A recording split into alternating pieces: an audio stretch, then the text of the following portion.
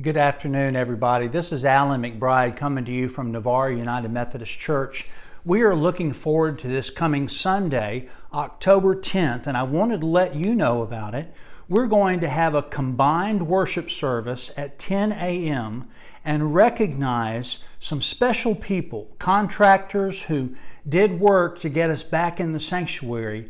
We're going to reconsecrate the sanctuary for worship and then we're going to have a presentation for very special people who have helped to bring the, the rebuild into being. And then have a wonderful luncheon following the service here at the church, and everyone is invited. Would like to ask you to bring a covered dish.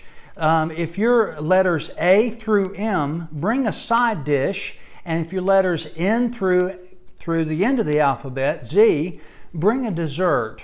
But we're going to have a great time together this Sunday, October 10th. Remember, the service, one service, is at 10 o'clock, and we'll look forward to seeing you. God bless you.